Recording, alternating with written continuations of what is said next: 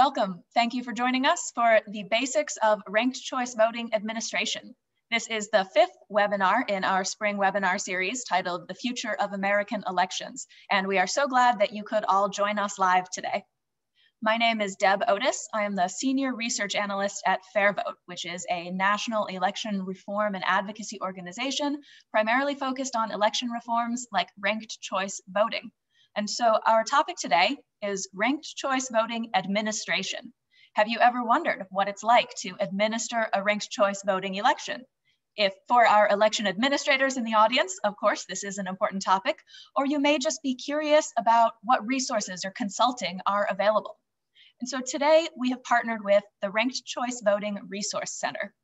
The Ranked Choice Voting Resource Center provides information, research, and tools to teach the public about ranked choice voting. They have decades of election administration experience at all levels of government, and the Resource Center provides ranked choice voting best practices and real world materials, as well as ranked choice voting consulting services, expert testimony, and implementation guidelines. And so today, Chris Hughes from the Ranked Choice Voting Resource Center is with us and will provide you with a brief presentation. And then we'll move to a discussion with election administrators on our panel who have firsthand knowledge of administering ranked choice voting elections. And as we go, please feel free to uh, submit questions and we will leave some time at the end to answer those questions. We look forward, we look forward to addressing your questions. Let's start by introducing the panelists. We have Dr. Amanda Lopez Askin, uh, Dr. Askin currently serves as the county clerk for Doña Ana County, uh, leading an office that services a diverse area, including a vibrant border community. Born and raised in Las Cruces, New Mexico, she was appointed clerk in 2018 and was elected for a four-year term in November of 2020. Amanda administered the City of Las Cruces first RCV election in November 2019, which saw an approximate 27% increase in participation compared to previous years. Uh, that election also included an unprecedented nine candidates for mayor and prioritization of intense voter education. Amanda lives in Las Cruces with her husband and five-year-old daughter. She's a proud alumnus of New Mexico State University, where she earned three degrees, including a PhD focused on leadership and administration. Amanda, thanks for being here. Uh, next up, we have Chris Hughes, who is the Policy Director and Counsel for the Ranked Choice Voting Resource Center. Chris makes sure administrators, activists, and policymakers are speaking the same language when it comes to ranked choice voting, from legislative drafting through election day. He has worked on RCV legislation in more than a dozen states and has presented on RCV implementation to the Washington State Association of County Auditors, the Maryland General Assembly, and others. Chris, thanks for being here. And next up, we have Dave Triplett. Dave has worked in election administration since 2003 and is currently the manager of the Ramsey County Elections Office in St. Paul, Minnesota. David has been involved in two statewide recounts, was a member of the team that implemented Minnesota's first online election judge training program, and has conducted many ranked choice elections using a hand reallocation process for the city of St. Paul, Minnesota. So thank you to all three of you for being here and sharing your expertise with us. Uh, we'd like to kick things off with a uh, Ranked Choice Voting Resource Center presentation.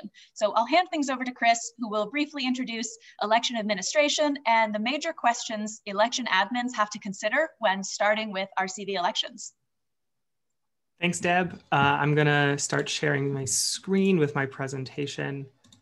Um, everybody can see my slides. Beautiful color scheme, our new logo on the top left. It's very exciting. Um, yeah, so I'm Chris Hughes. I'm the policy director for the Ranked Choice Voting Resource Center. I'm really excited to be co-hosting this webinar uh, with Deb and with FairVote today. Uh, like Deb said, I'm the policy director. I think I already said that. It's been a crazy week, so apologies if I repeat myself. Um, but we are, I'm the policy director at the Resource Center, and we, like Deb said, are a, a resource for anybody who's interested in learning about ranked choice voting, especially from the angle of administering ranked choice voting elections. Um, so I'm, I am gonna provide just a quick introduction, about 15 minutes, maybe as fast as 10, to the major questions you, election administrators are, are probably thinking about when they're thinking about or implementing ranked choice voting elections, especially for the first time. Um, this is just a bit more background about us. We provide resources for election administrators, policymakers, voters, candidates, and anybody else who's interested in learning about ranked choice voting. Our website is www.rcvresources.org. If you want to go and get any of our voluminous documents, we have a lot. We have a lot of information on that website. Um, so the agenda for today. Um, I like to always start a presentation about ranked choice voting with what ranked choice voting is. I'm going to try and do it quick because I assume a lot of you are at least somewhat familiar with it. But some of the some of the like the angles and corners of ranked choice voting do matter when you're talking about election administration. So I want to be sure we we get at least a baseline there. Then I'm going to try and define election administration as quickly as possible. It's a complex thing that I've distilled into 100 words, and I'm sure it's both, it's not nearly enough, but uh, we'll see how you all feel. Um, and then I'm going to talk a bit about the major things you have to consider, the big things that change when you're running a ranked choice voting election. Things like designing ranked choice voting ballots, making sure your voting equipment can handle ranked choice voting, that sort of thing. That sort of thing. So, what is ranked choice voting? Ranked choice voting is a voting method where voters rank candidates in order of preference. That it can get counted in a lot of different ways. Ranked choice voting is actually an umbrella term for a couple different methods of election. Um, we, all of these methods have a lot of different names associated with them, but single winner ranked choice voting, the one most people are familiar with, is also called instant runoff voting. Proportional ranked choice voting, which is used to elect multiple people at once, is also called the single transferable vote. And these types of election have in the past been called preferential voting or proportional representation. There's a lot of different names, but all we really need to know today is the term ranked choice voting. So how does it actually work? Ranked choice voting works by, with, like I said, voters ranking candidates in order of preference. There's a sample ballot on, on this slide right here uh, on the right side. You can see if, if a voter liked George Hovis the most, he they would rank uh, George first. If they liked Althea Sharp second most, they'd rank her second, and so on until they ranked as many candidates as they can stand. Once somebody casts their ranked choice voting ballot, these ballots get counted in rounds. The everybody we count up everybody's first choices first, and if somebody has enough votes to win, they've won. That's it. That's the election. But if uh, nobody has enough votes to win. The person in last place gets eliminated and has anybody who voted for them has their votes transfer to their next choice. So that's a, the basics of the function of it, how ranked choice voting works and what it is. Um, it's being adopted more and more widely in the United States. New York City is scheduled to use it for the first time in their primary elections this June, actually, and has been using it for special elections this uh, winter and spring, for example but it's used in a, a million other places, of course, Las Cruces and St. Paul, for example. So with that out of the way, what is election administration? Here, I'm gonna read out this definition I wrote for myself. Uh, I'll let you judge for yourself if you think it's good enough to capture this. Election administration is the acts and processes underlying the conduct of elections in the United States. It's going through growing pains as elections become more and more professionalized and technology driven. Hierarchical and decentralized all at once, it's the best and worst thing in American elections. At base, it's infrastructure. It's the infrastructure of our democracy. It is how we get our elections. It's made up of a lot of people and a lot of sweat, a lot of tears, and a lot of computers. So that's election administration. Um, there's a ton there's a lot that goes into it. We're not going to be able to get into all of it today, but that's that's how I try to define it and scope it for people. It's also, I think, worth remembering that a lot of election administrators, people who are running elections, have a million other jobs to be doing as well.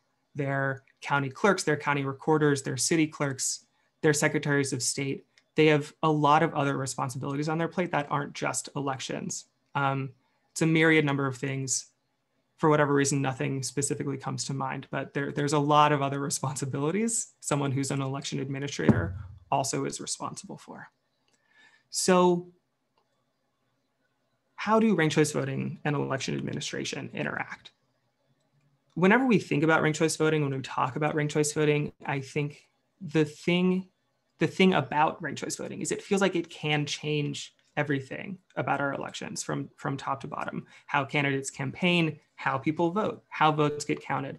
There, that it's so much about the process that ranked choice voting can impact. So it feels sometimes really overwhelming to think, how does it apply to administration, to the this infrastructure side of elections? Uh, and we've seen that in practice, there it, it will change a lot. It'll change how voters interact with the process. It definitely changes how election administrators have to approach their jobs. But the major parts of election administration that ranked choice voting changes are voter education, ballot design, voting systems, and results reporting. Um, I'm also curious, I, I, would love to talk after I'm done presenting if uh, Amanda and David have any other ideas. Like, are there other big things you think we should capture in this umbrella? But that's where, that's what I'm gonna say for now. So I'm gonna just briefly go through each of these things um, so we can get to that discussion. But first, voter education. First of all, what is voter education? I, I mean, it might be self-evident. It's teaching voters about the election. It can mean a lot of different things, though. It can mean making sure voters know that there's an election coming up. It means making sure candidate voters know uh, what contests are going to be on their ballot. It's, and this is where ranked choice voting comes in, it's making sure voters know how to fill out their ballots properly. It's making sure voters understand how their elections actually get counted, how people win election in these elections. So on the screen is an example of a piece of voter education material from the city of Minneapolis. There's a million different ways people have done voter education because it is, it's for ranked choice voting, I mean, because every jurisdiction brings their pre-existing practices and maps ranked choice voting onto them. They're not, they, they don't have the time, they don't have the resources to do a whole new thing. They're just gonna fit ranked choice voting into what they're doing and how they think about their voters and voter education already this flyer from Minneapolis shows the major focus that I've seen from ranked choice voting jurisdictions. It's teaching voters how to complete the ballot. That's the big focus, making sure voters know how to cast a ranked choice voting ballot. You see on the left side of, of the flyer, um, there's a sample ballot, an example of what a ranked choice voting ballot looks like in Minneapolis. Uh, it's properly filled out. And then on the right, there's a couple examples of what not to do in your on your ranked choice voting ballot. Um, what is not here is an explanation of how the votes get counted, um, which is a, it, that's an interesting thing we've seen in a lot of places. Is there's a much bigger focus, especially as election day gets closer, on marking the ballot right. You want to make sure voters understand how votes get counted, but that's something that voters continue to learn more about the more they interact with ranked choice voting. Um, they understand it better and better after each election cycle.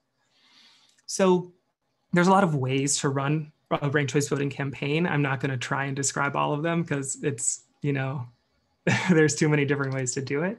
But the, the big things that um, we've seen jurisdictions do are sending these sorts of flyers out to voters, making sure there's these materials in polling places, making sure voter or uh, ballot instructions, sorry, are, are really clear on, on their ballots. Um, sending out voter guides to everyone in their jurisdiction. I know this is something Minneapolis does. I'm actually not sure off the top of my head if St. Paul or Ramsey County does as well. Um, but there's, and you can put out ads, you can run ads in TV, you can go door to door. That's something a lot of ranked choice voting advocates do to do voter education that isn't coming from election administrators. But that's that's sort of the basics of voter education for ranked choice voting.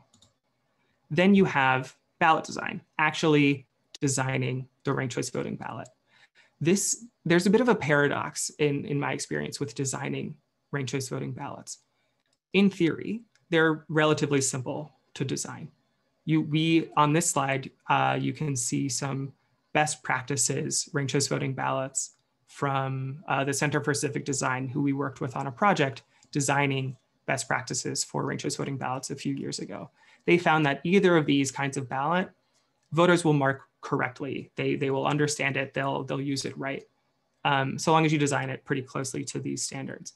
But in the real world, actually fitting ranked choice voting onto a ballot, making sure it that you can, you know, that your voting system can do uh, can let you design a ballot in a clear way that you manage the hundreds of or hundreds lots of different contests you may have on a, on a ballot or or in an election cycle making sure um, you know that you've accounted for every factor on your ballot that's not just ranked choice voting can get really really complicated.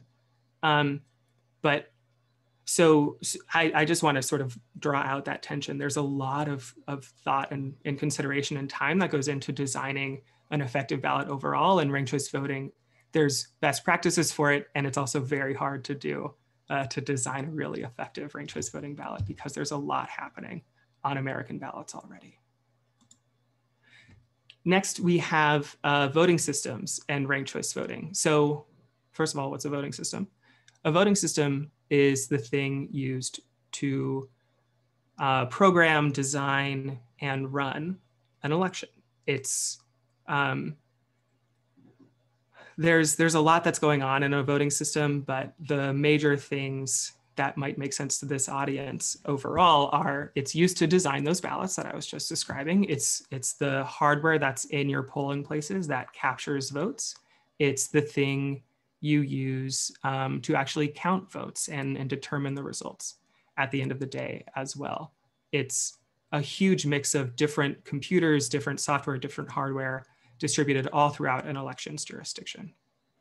Um, every voting system the, uh, every jurisdiction, every city, every county, every state has a different voting system. Um, it's this is part of the like decentralization that is incredible and and uh, awesome in sort of the bad way about elections in America is so much varies everywhere about how voting systems operate. Um, but the the thing to keep in mind is there are a few major vendors in voting system world. There's, I'm not going to name all of them, but all of them, their most recent ranked choice voting equipment or most recent voting equipment can actually do ranked choice voting elections. They all have very uh, varying um, capabilities when it comes to that ranked choice voting capability, but they can all at least design a ranked choice voting ballot and capture data from that ballot.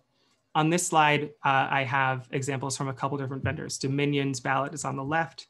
Hart, uh, their built-in ranked choice voting ballot is on the right. Then we have, this is from Unisyn, which is a relatively smaller vendor. Uh, we have ES&S. This is the ballot from Maine's elections in 2018. Um, and, and that's, that's my summary of voting systems and ranked choice voting as with all of these things, there's a lot more. I'm just trying to scratch the surface and, and get the topic out in front of all of you. But this is a really major part to get right with administering a ranked choice voting election because the ability to use your voting system for ranked choice voting in an effective way, in a, an efficient way, will really ease the implementation process for ranked choice voting. Um, and then finally, displaying results. So actually displaying election results uh, can come in a lot of different ways in ranked choice voting. There's a lot of different visualizations people have done.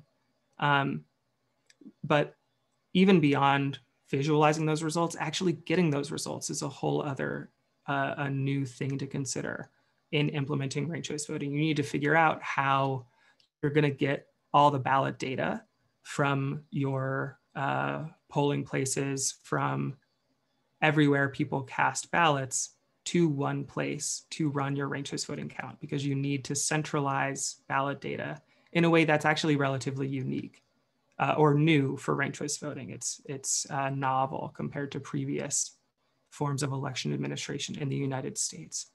Um, I know, I'm sure David has some stories about um, centralizing actual every single ballot because they hand count their ranked choice voting elections manually, human count these ranked choice voting elections in St. Paul.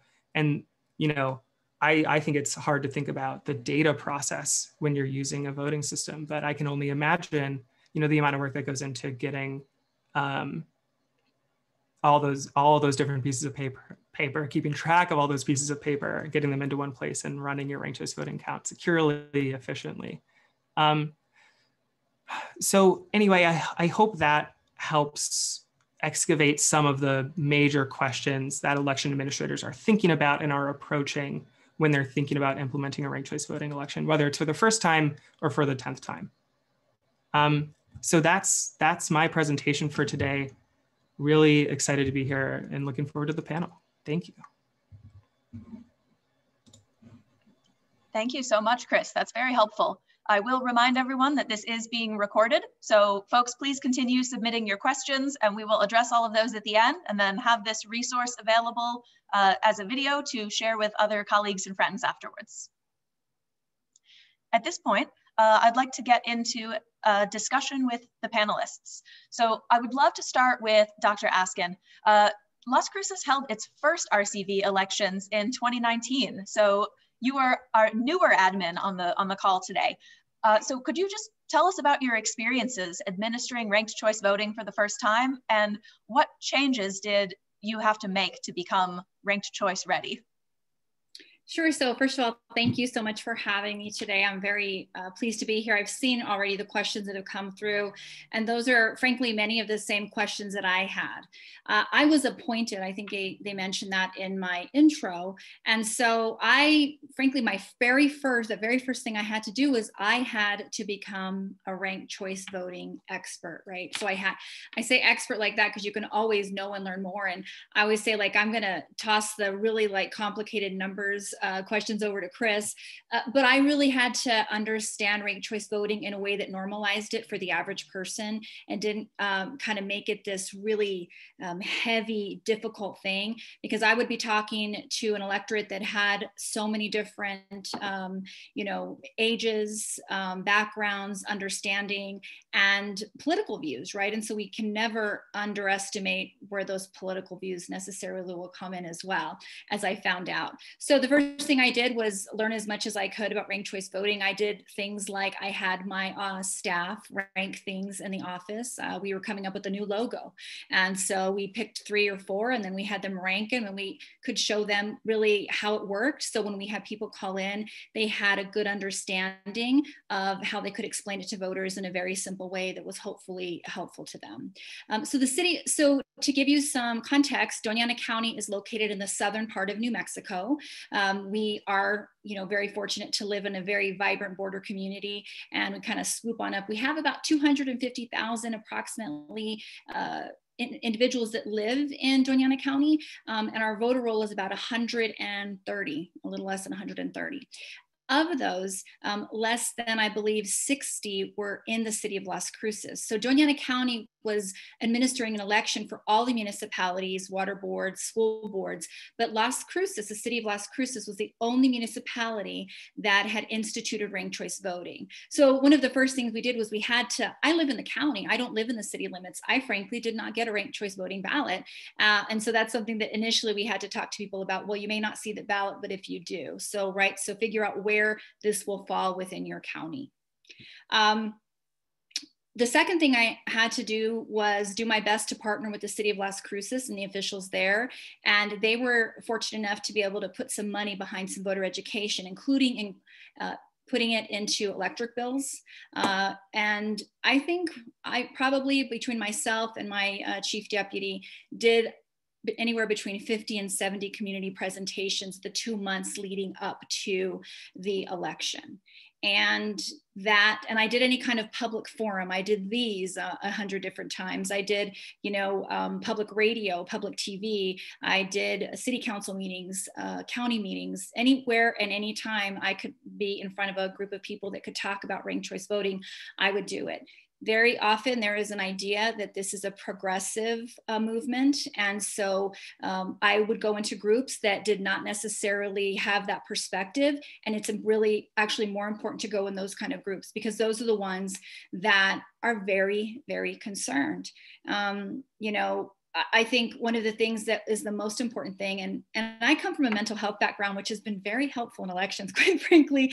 Uh, but one of the things that I think it's important for all of us to do when we are doing voter education is even if somebody has approached me in a very frankly aggressive way. They're angry. They're blaming me. I'm changing their system. Uh, I validate their concerns. And if you're coming to me with a concern about the electoral process, if you're invested in it, then we're already on the same page and we already have something in common. And let's start from there. And then I validate some of their concerns in terms of like, I'm hearing you, I understand what you're saying. Um, there was a question, I think, um, specifically from one of the attendees that asked her, her electorate is, is older. And I did quite often get some of the most resistance from um, people that were older. They wanted it the way they've always wanted it. And we'll talk about this more and then I'll stop and, and feel free to let um, David chime in. Um, but one of the things that I don't even know if the RCV group is super happy that I say this, but what I tell people is if voting ranked is going, using RCV or an instant runoff is going to keep you from the ballot box, vote what I call classic. There was another person that asked, can you just vote one? Can you vote two? Can you vote three? Let's say there's 10. Can you just vote? Yes, you can. If it's going to keep you from the ballot box that you absolutely don't want to participate in RCV, my perspective as somebody who's a voting advocate and an educator was to say if you just want to vote how you always voted with that one person that you want to win and move on, you can do that. But please show up to the ballot box. That is something that we don't want to ever keep what we're doing away from you. Um, so definitely saying that, but also remind that if they do that, and it subsequently does go into runoffs, they have forfeited their right to participate in the subsequent, what we call runoff rounds, so to speak.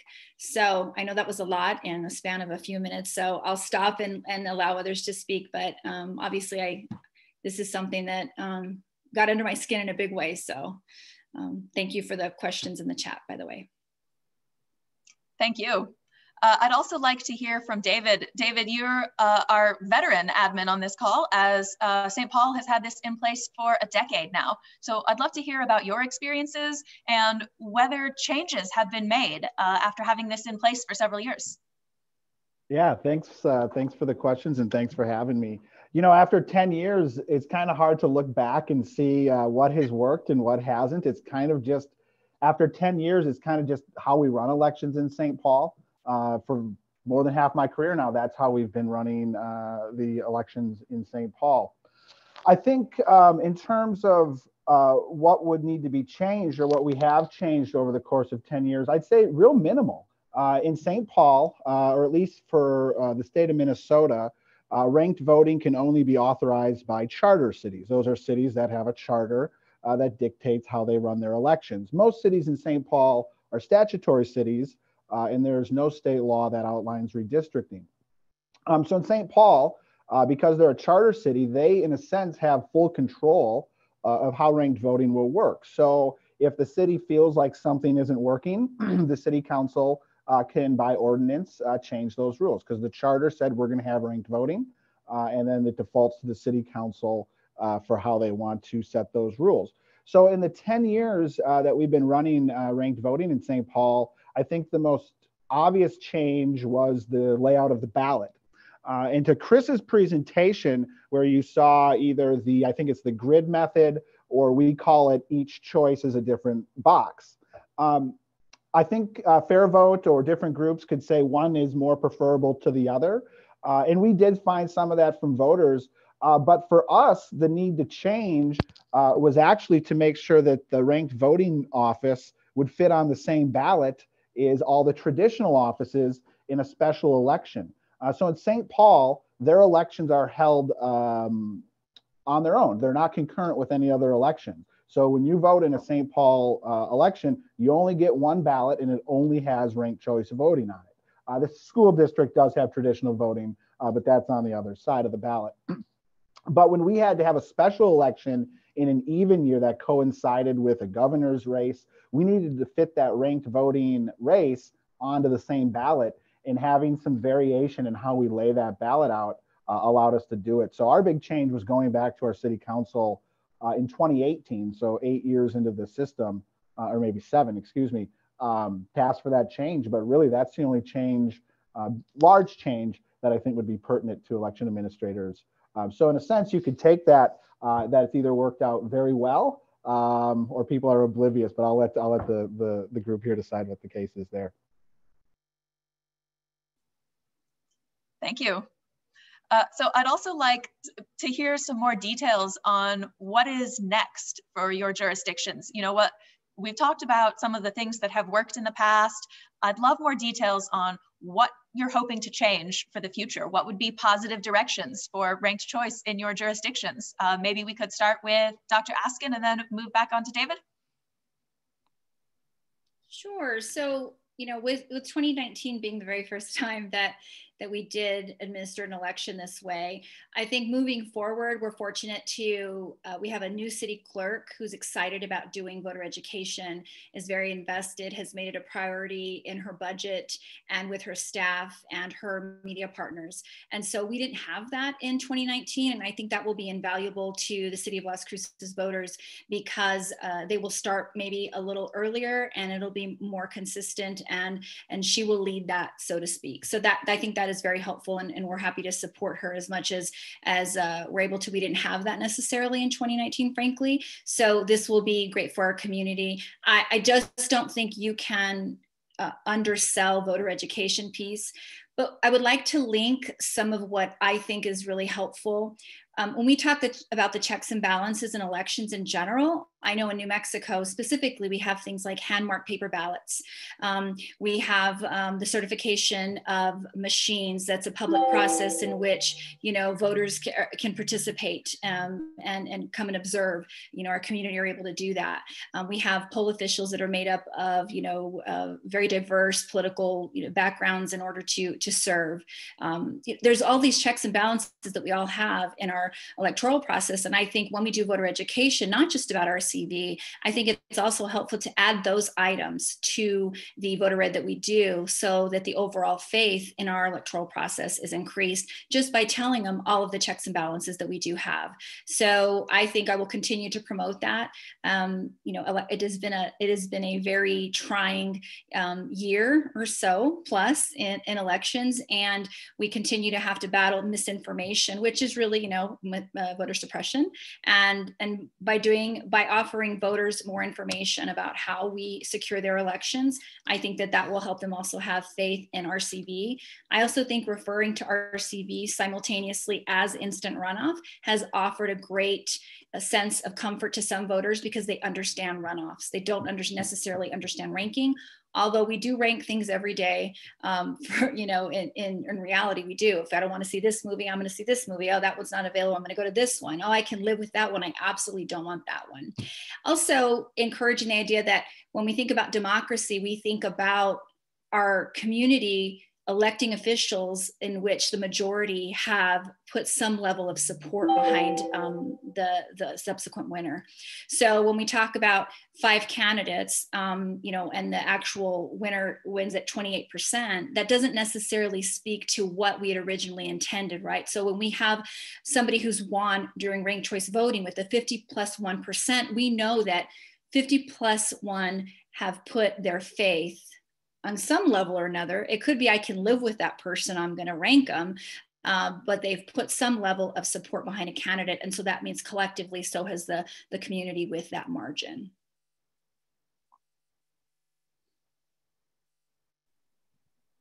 And how about you, David? Um, those are great answers. What are what else are you looking forward to? What what are you looking to perhaps improve in the future? Well, I think for anybody uh, in the ranked voting world, this won't be a surprise. But for those of you who might be new to ranked voting, uh, in St. Paul, uh, we do not uh, we do not uh, tabulate our ranked voting uh, total using our voting system. We do it by hand. So our voting system will count the first choice votes like like it would in any normal election or traditional election, I guess we call them. Um, but our voting system stops there, and so we need to take it the rest of the way uh, and we physically do this all by hand. And so our big push in St. Paul uh, and across the rest of the state of Minnesota is to move to electronic reallocation. Uh, and I've been looking through the chat here, uh, lots of good comments. I don't think we'll get to most of them, unfortunately, with time. Uh, but I do see one where somebody brings up, uh, is there concerns with the delay in reporting results? and in Ramsey County, I cannot compare us to New York City because uh, we're only about 150,000 uh, registered voters in St. Paul, 300,000 in the county. Uh, but in St. Paul, uh, it takes us about a full day to two days to do this hand reallocation. And so if the election is on Tuesday, Uh, by the time we've recovered all our materials, done our first round of audits, uh, we're usually not ready for the event until that Friday. And then usually Friday evening or that weekend, we have a result. Um, so I'll let you decide if that's timely enough. Uh, in the city of St. Paul, most of the candidates in um, public know this is how it's going to work. And so they expect it. Uh, but I think the reality of uh, the 21st century and what people know for what technologies are out there, we could have that result a lot quicker. Um, so why aren't we there? Why aren't we just doing this tomorrow? We all know the technologies out there, the universal tabulator's out there.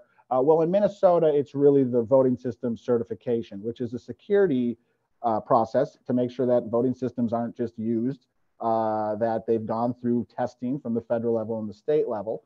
Uh, and at this point, it's our Secretary of State's position uh, that they cannot certify a system to for ranked voting at the local level and without any state laws, they have nothing to certify against. So we're kind of in this uh, game with the state legislature to give us something to certify against. Uh, until then, at least in St. Paul, we've been advised by our county attorney's office that uh, we have to have a certified system. Uh, so we'll be doing it by hand. But uh, our team is actively working uh, with the state, with um, different vendors out there. Universal Tabulator is one of them, uh, as well as with our colleagues to try and uh, jump over this big hurdle so we can move to electronic reallocation, which will then give us a lot more data than sitting and watching us hand count and having to do your own tallies to get that data. So that's what we're really focusing on uh, going forward. Then we can get uh, a quick and accurate result out to the public.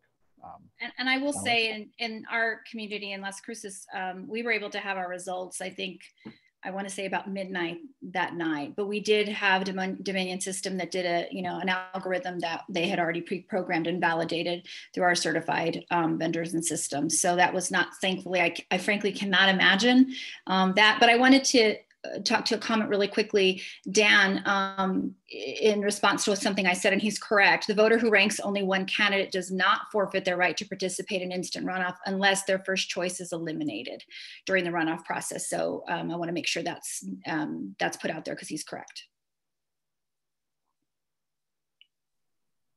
Wonderful, thank you. Uh, I would love to ask one more question of Chris and then get on to uh, all of these audience questions that have been coming in.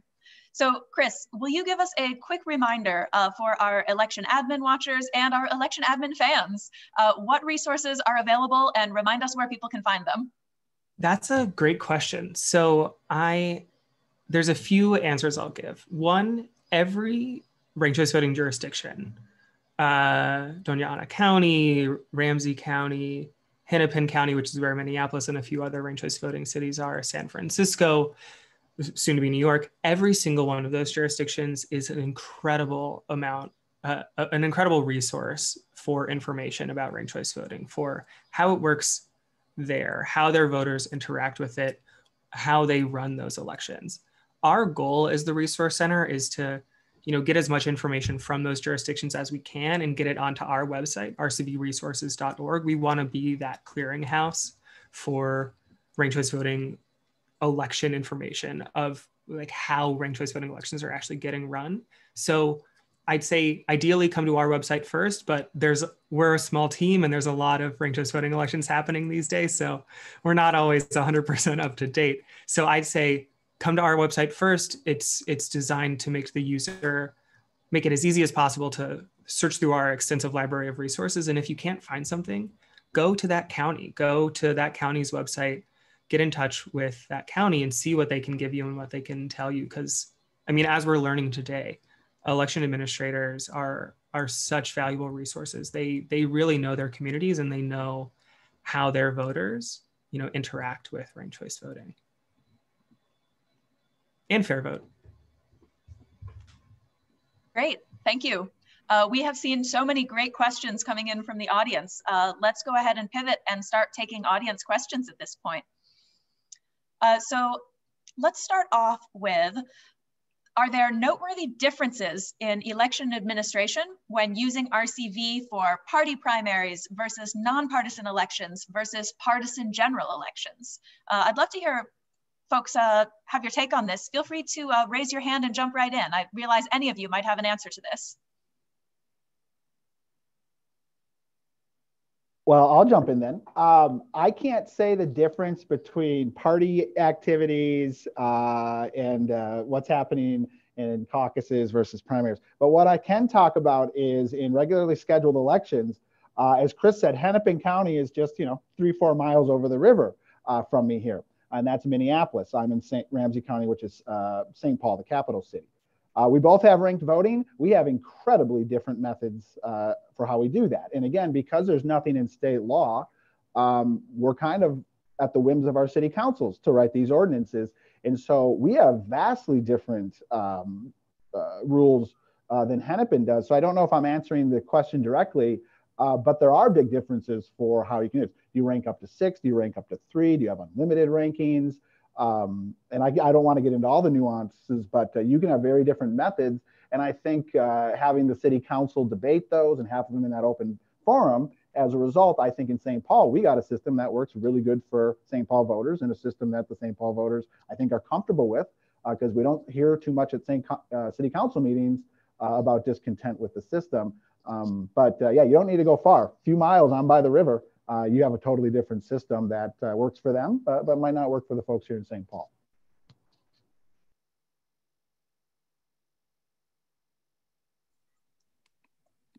You know, we actually, we got a question about ranking limits too, which um, your, your answer there, David, uh, uh, brought this question to mind.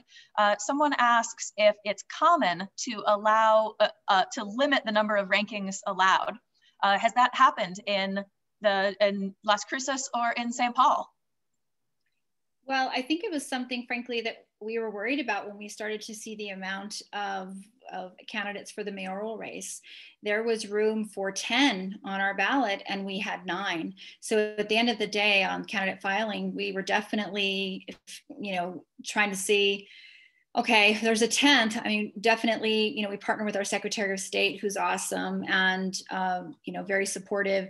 And they're, they can always, you know, they have special rules for, you know, very specific election code, but it is something that I don't think we have solved. And it's something that definitely, um, you know, we need to look at further. I do know the city of Las Cruces uh, decided not to have any um, of um, I'm sorry, I'm spacing it, but the, the, the requirements to, to become a candidate were minimal in terms of what they were signatures. I'm sorry, they, they decided to eliminate the signature requirement. And so that I think really led to there being more, more candidates the great thing about it, and uh, somebody alluded to, uh, asked a question about this connected to the youth, is we had a great diverse, you know, sc- scope of candidates from, I think, a 19 year old, um, you know, up and coming Latino real estate agent to, you know, you know, candidates in their 60s. We had, and you know, ironically, I think, especially with the discussion around the politics behind RCV, which people have opinions on, that the the mayor, um, our incumbent mayor won. He won, um, you know, I think uh, through, uh, but again, we went through all of the nine rounds to get him um, as the final, the final uh, candidate that had 50% plus one. So the status quo candidate did win, despite some of the, you know, assertions that for sure it was going to totally, you know, kind of wreck the system, um, and and that there was going to be something different. And, and frankly, that didn't necessarily happen. I think there's a funny quote from the mayor because he was part of the, you know, the city council that voted it in. Um, albeit maybe reluctantly, because he asked was asked, you know, what do you think about ranked choice voting now? This is after he won, and he said, "Oh, I love it. I won." You know, so I think that was something that um, was, you know, held its own kind of irony. Uh, we also got a question about what is the most effective way to depoliticize ranked choice voting. Uh, Dr. Askin, you, you spoke about this a little bit as an issue you encountered. Did you, what were some of your most effective ways to counter that? you know the community education which i present to people and frankly sometimes places that are uh, sometimes actively hostile is i think important because when i'm in front of a group of people whether it's 10 or 100 I'm humanizing me as somebody who wants to just teach you and help you understand. I have no political agenda other than for everybody who is eligible to vote. And I continue to talk about that in every which way that I can and talk about the safeguards that we have in our elections. Again, when we talk about those who have had concerns about ranked choice voting and have said, I'm just not going to vote, um, I try to, to do my best to encourage them to, you know, show up at the ballot box. And, you know, regardless of our political differences um, or similarities, my purpose is to administer an election that is fair and nonpartisan. Uh, this RCV in our community is uh, connect, you know, very it's a nonpartisan races that it's connected to. Anyway so that is helpful in itself but i am an elected official which in its, its very nature carries its own um, baggage. And so i have to carry that baggage and kind of unpack it when i do these events uh, where i talk about ranked choice voting. I i wasn't on the city council that voted this in but at the end of the day i am administering this election, I want you to have all the information to make the best decision you can um, connected to how you're going to, how much faith you have you're going to in voting, but almost hopefully that you will, right? So that's that's kind of what my role is in this. Thank you. Uh, next up, I have a question that uh, I'd like to direct towards Chris. Uh, we got a little bit of an opposition question here. The question is, are you familiar with an academic paper from 2015, which uh, examined ranked choice voting, four ranked choice voting elections and found a, a high rate of ballot exhaustion? Uh, are you familiar with it and how would you react to it? Yeah, so I, I, I have read this paper and I think I have two responses to it. One is that it examined all all of four contests, uh, four ranked choice voting contests. In in 2015, there had already been at least 100 in in the last decade in the United States. So I think premising a paper at all on that small of a sample is not a particularly good way to analyze how ranked choice voting elections operate. Um, and second, its focus is uh, these things called exhausted ballots. Those that's the sort of ballot that uh, Dr. Askin was talking about, where it's someone had ranked candidates and they their favorite candidates got eliminated. The candidates they ranked got eliminated. This paper takes that to mean these people didn't know what they were doing. They made mistakes. They they have been disenfranchised by the ranked choice voting process. And I don't I don't think that's a particularly like helpful characterization of that sort of information that we get out of ranked choice voting elections because I think exhausted ballots, sometimes called inactive ballots, uh, mean can mean a very can mean many different things in a ranked choice voting election. It might mean people ran out of rankings. They wanted to rank more candidates, but they couldn't. But it might also mean there were a lot of voters who showed up who just didn't like any of the other candidates. They voted for some of the candidates. Those candidates didn't win, but but those voters still got to vote. They still got to cast a ballot, and that vote did get counted. Um, and I, I, I just think there's a there's a more sort of holistic, uh, top to bottom way to look at those numbers to to try and do more to understand the different sorts of things voters are doing on their ballots and and how voters interact with their ballots and how the in, the new sorts of information you get from ranked choice voting is really information interesting and not just to say this is happening. Voters have been disenfranchised Great, thank you.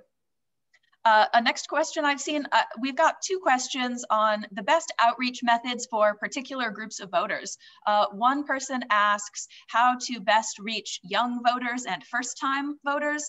And another attendee asks um, how do we reach voters whose uh, first language is not English. and so I would love to hear your thoughts on messaging to different groups. Maybe uh, we could hand it to David first. Yeah, I definitely have experience uh, with voters who uh, don't speak English as their primary language. Ramsey County has 26% of our residents don't speak English uh, as their primary language.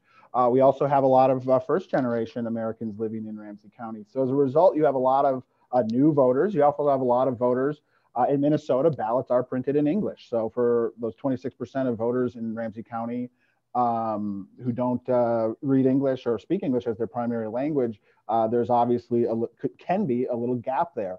Um, so in St. Paul, again, this was over 10 years ago, uh, but the city council, I think, uh, allocated about $40,000 that it distributed to, to various groups. I think FairVote uh, got some of those allocations to really do outreach within the communities.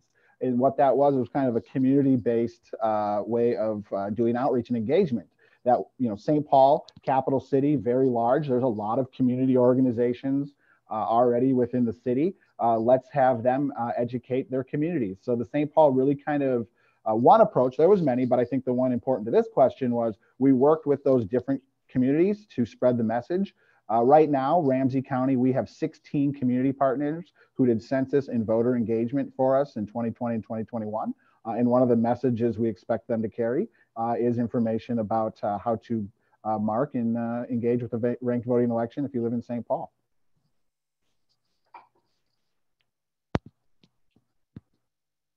Dr. Askin, anything to add on that question? Well, I think Dave is real ahead of us, um, connected to the voter ed piece on um, individuals uh, that uh, you know don't necessarily learn or, or, or speak in English. Um, that is something that's very common in our as a border community. We in our you know in our election code, we are required to have our materials in both English and Spanish. But I think you really um, hit on something very specific that is is really underscores how important it is is the partnerships that we create in our community. I actually saw on this uh, on this this very call that we're this panel that we're doing. I saw several people from um, you know organizations that we work exhaustively with as much as we can um, that provide education to voters in rural areas, in uh, the colonias, in uh, or those who necessarily don't feel comfortable coming to our office. Um, outreach is, is really important. Community centers in some of these, um, you know, in these these areas are very, very important. But again, having people in our office that speak uh, Spanish has been very helpful as well. So, I mean, we're, I think we're continuing to learn on how to best do that.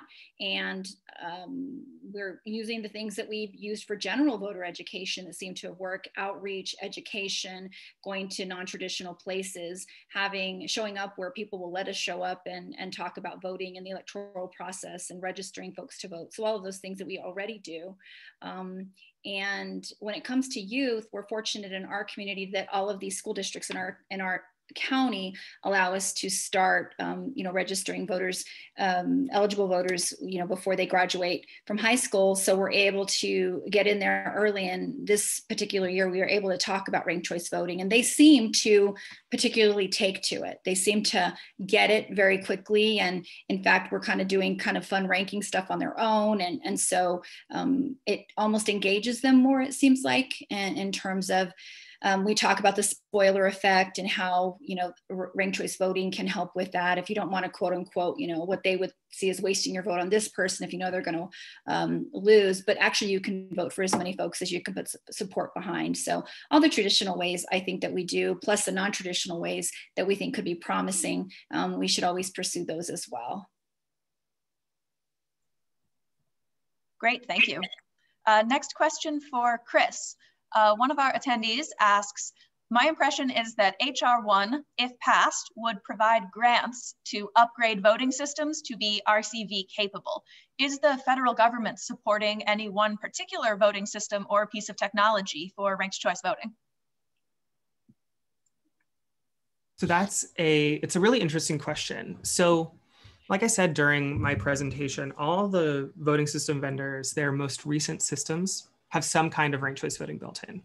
But one thing that, uh, as far as I understand it, has held back more development of ranked choice voting capability, something that has kept vendors from really diving in to ranked choice voting is that there's a lot of variation across different ranked choice voting jurisdictions uh, in how ranked choice voting actually works on the ground level. There's like mild variations in how ballots, what it means if somebody ranks too many candidates at one ranking or skips too many rankings in a row, that sort of thing. Um, not to mention single winner versus proportional ranked choice voting. Um, I, say all of that to say there's two answers to this question. HR1 has provisions mentioning ranked choice voting and saying that any, um, it's sort of, it's not so much legally binding as it is a like nice policy signal in the bill and it says um, all voting systems um, certified to federal standards shall uh, include ranked choice voting. It doesn't ex- exactly explain exactly what that means, but but HR one is saying we think people should use ranked choice voting, and um, that means money in that bill will go towards places purchasing ranked choice voting or purchasing equipment that should have ranked choice voting on it, which in theory would also help ranked choice voting adoption. But the really big underlying thing there, the tension still that that needs to get mined and that we're working on right now is there are these things called the vote uh, the voluntary voting system guidelines the vvsg these are the things that essentially set the standards for how um, how voting systems get tested and certified in the united states um, every state has adopted them to different extents some haven't adopted them at all some have gone above and beyond uh, those standards but they're the things that sort of set the tone. And for the longest time, they didn't include a lot of ranked choice voting information. Um, but I've been working with my colleague George Gilbert for the last now five years, actually, on the VVSG 2.0, which is this huge update to these federal guidelines and standards. Um, and we've made sure to, um, among all the work we've done uh, on that, um, we've made sure to include uh, really extensive information about how ranked choice voting gets run, all the different details of ranked choice voting implementation in every jurisdiction across the state or across the country so that vendors have a single unified resource they can refer to if they're designing systems so that they know uh, in really precise detail how to do this right and how to do it well. Um, and part of that work has also been our development of our software, the Universal Ranked Choice Voting Tabulator, which can run ranked choice voting elections according to the rules uh, used in any ranked choice voting jurisdiction in the United States. Um, so we we've developed that in tandem with the development of those VVSG requirements to make sure we're capturing all of that variation. Though there uh, are a few updates we need to make before we can get used in St. Paul, and it, there the voting system testing process itself is very rigorous. We are a very small component of what would be a much larger overall system. So we um, we're being essentially subject to those requirements in New York State right now, and we're doing everything we can to meet those requirements, but they are a little bit inapposite to our to our software. So we're, I think the next thing we need to figure out is how do we get incorporated into every vendor's system so that they can go out and get that tool out to everybody as broadly as possible um, so that there's an easy, fast way into ranked choice voting if a jurisdiction wants to run a ranked choice voting election. I hope that made sense. This stuff gets so technical. That is very helpful. Thank you, Chris.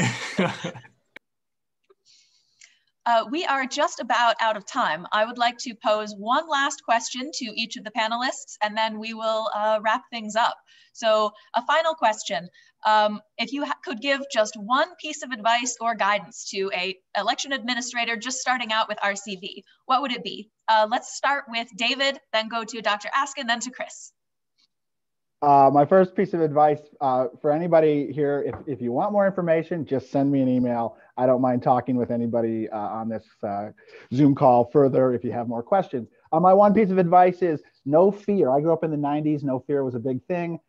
It, it wasn't that hard, actually. The voters didn't have a lot of questions. Uh, once we got it off the ground, it didn't really amend the labor of my staff or myself. Um, it really was a lot easier um, than we thought it was. But again, that was 10 years, so hindsight's 2020. So thanks for having me.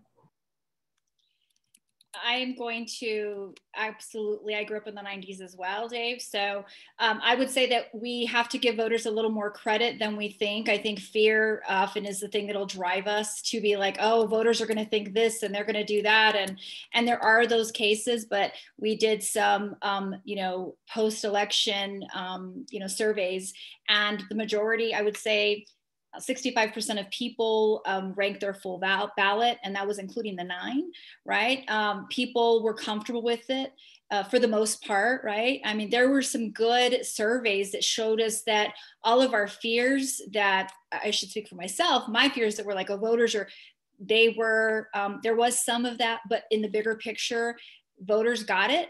They ran with it. And for the most part, they liked it more than you might think they would just based on the fact that it's changed. So um, that is kind of what I, what my two cents is. I don't I don't know if I have anything really to add to that. I I I feel like it's not I'm not an election administrator. I've not run an election before. I, I feel like it's not my place to tell election administrators what a piece of advice is. But I think um, if I, honestly, I can't think of anything, but if I think of something, I'll throw it in the chat. Great, thank you so much. Uh, it is about 501, so let's wrap this up. Uh, thank you so much to our panelists for being here. Your expertise is absolutely essential and we appreciate you sharing your stories with us. And thank you to all of the attendees who gave us an hour of your time this evening. Uh, this webinar was recorded and we'll be adding it to the FairVote YouTube page this week. Anyone who has RSVP'd to this event will receive a follow-up email with that resource. And as a reminder, of course, the Ranked Choice Voting Resource Center is ready to be a resource if and when you are ready to administer your first ranked choice election. So you can always contact them by visiting rcvresources.org. And lastly, visit FairVote's website for more upcoming webinars in our spring webinar series, topics about how RCV benefits communities of color, the Fair Representation Act, and how advocates are building support for RCV across the country. Once again, thank you all for being here and thank you so much to the panelists. Thank you. Yep, take care, everybody.